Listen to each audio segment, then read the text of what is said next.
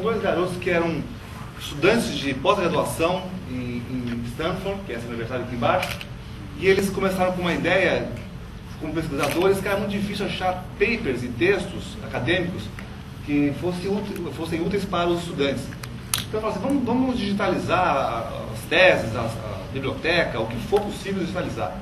E aí o, o, o Larry, de lá, falou assim para o professor dele, olha, vou digitalizar logo a internet inteira. Isso foi em 95, estava começando a internet comercial como a gente conhece.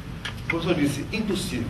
Eles juntaram máquinas sobressalentes e cacos velhos e montaram o primeiro servidor até serem expulsos e foram para o quarto do, do Larry e depois foram expulsos mais uma vez. E aí eles foram para uma garagem que eles alugaram na, de uma pai de uma colega. Né? E assim começou a, a saga do Google. Então o Google não é uma empresa, esses caras nunca tiveram emprego formal.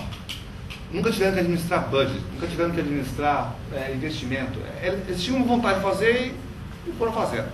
Hoje a empresa tem ao todo 12 mil pessoas, no mundo todo.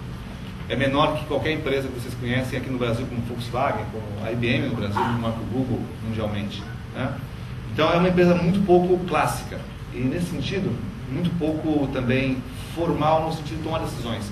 Se a, se a ideia vale a pena, vão em frente. Se a ideia não vale a pena, né? E quem decide que a ideia vale a pena ou não vale a pena? Não são esses caras, não é o CEO da companhia que é um profissional contratado. E não é nem os diretores. Quem decide são os usuários.